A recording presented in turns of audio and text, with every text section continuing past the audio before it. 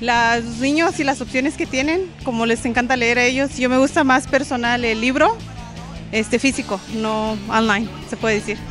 ¿Usted cree que los libros físicos no deberían desaparecer entonces? No, el libro está mejor, es más fácil para tenerlo y volverlo a ver y todo eso, y menos daño le hace el ojo.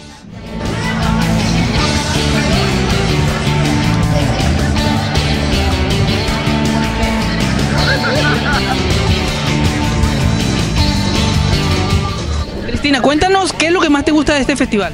Ah, lo que me gustó fue la área para los niños y los libros en español para los niños. ¿Encontraste alguno que te haya gustado? Ah, los little, little libros son los favoritos del baby.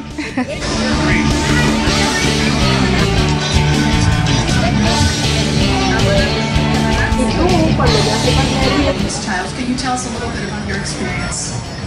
Thank you so much. Our experience, our son currently is seven years old. Uh, tasks that he was being given, and then when we went into the kindergarten to go through, and the teacher was sort of, she was so compassionate and so loving, and she wanted to help. She felt like there were certain items that she.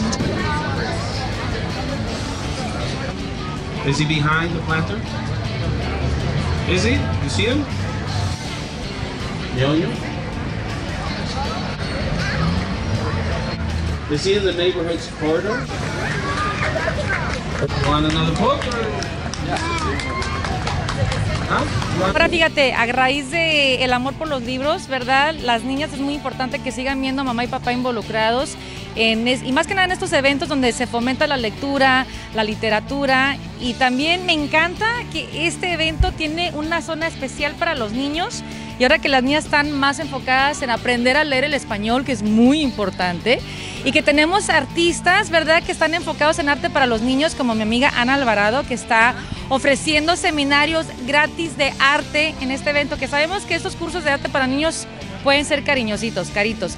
Pero cuando hay algo gratuito de un artista de verdad, para los niños tienes que aprovechar. Así que aquí estoy para que las niñas aprovechen el momento de calidad aparte con mamá y también que se rodeen de más cultura, de más libros para poder este, seguir ahí regando ese amor por los libros. Hay una no tienen,